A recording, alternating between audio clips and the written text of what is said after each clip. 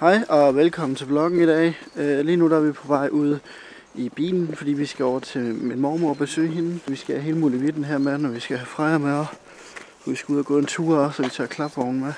Men øh, nu er jeg lige ude med skralde den, at vi hopper ind i bilen. Og vi skal ud og gå en lille tur, og når vi kommer over til hende, vi vil være i form dækbilleder derfra. Lige nu der er i hvert fald dejligt vejr. Jeg var rimelig træt her til vores, eller lige da jeg vågnede, det er stadig vores.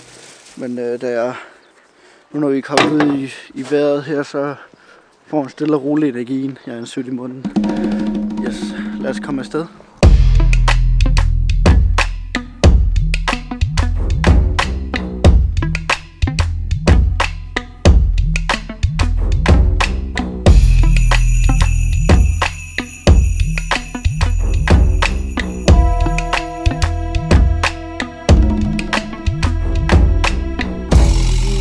My foundation will check out.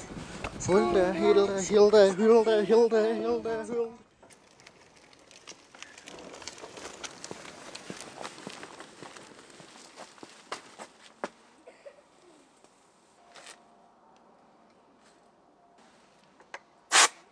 Da vi var ude og gå tur, der var der sygt mange hundelort. Så der er sådan en hundelort på begge fordækkene. Jeg hader folk, der ikke kan samle deres hundelort op. Det ville jeg prøve at få af nu, men heroppe der plejer, man, der plejer der at være sådan en vandslang. Den er så fjernet. Jeg må lige finde på en eller anden måde, jeg kan få fjernet det hundlort der, for det er pænt ulækkert.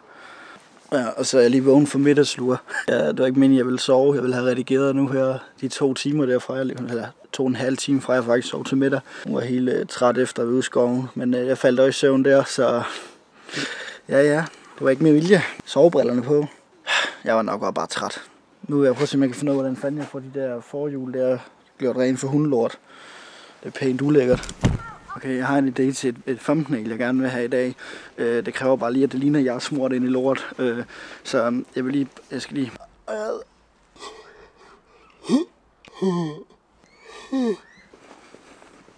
Så det. Goddag. Hej Freja.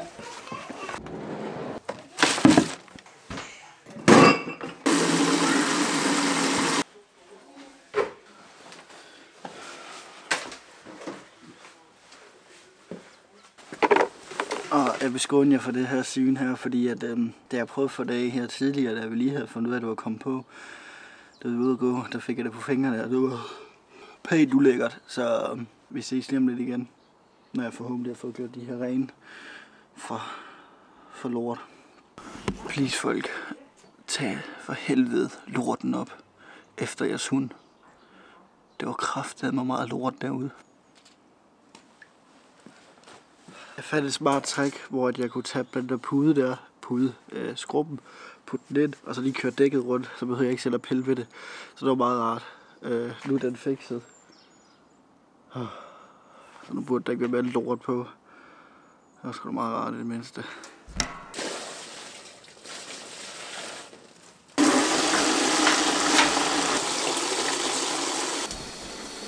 Så bliver den fin og ren igen.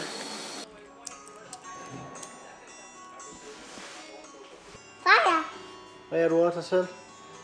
Far. Tak. Var far. Og far får et kys.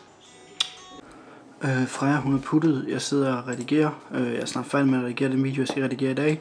Så jeg bare lægger nogle lydeffekter på og lege lidt med det.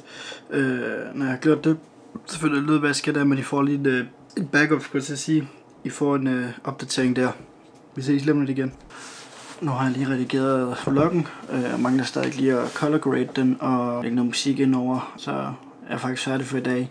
Klokken den er snart halv to, så hvis jeg kan komme i seng inden to, så vil jeg være glad. Mig og Freja, vi skal op klokken syv, så ja, der er noget at se til. Vi skal i vuggestue og sådan noget. Jeg har smurt madpakke, det har lige gjort. Så har jeg lige fået noget natmad, nogle robotsmad, og så vil jeg hoppe i seng lige snart jeg er færdig med at redigere vloggen her. Så det her klip, det skal bare lige ind, og så ses vi i morgen. Tak fordi I så med. Vloggen er ikke så lang i dag, kan jeg se her, men øhm, jeg føler alligevel, at øh, det er sådan lidt mere en... Jeg synes, den hænger meget godt sammen, og jeg tror, jeg vil begynde at lave nogle flere sådan nogle billeder. Prøv at skrive, hvad, hvad synes I om vloggen i dag? Skriv det dernede. Er der noget, den manglede? Er der noget, den i godt kunne lide, så vil jeg gerne høre det, fordi så det er altid dejligt med noget, øh, noget konstruktivt kritik. Ja, i det hele taget bare rart at få nogle kommentarer, så læg nogle kommentarer. Hvad har I? Har I haft en god dag? Det kan I også skrive. Vi ses i morgen. Tak fordi I så med. Hej hej.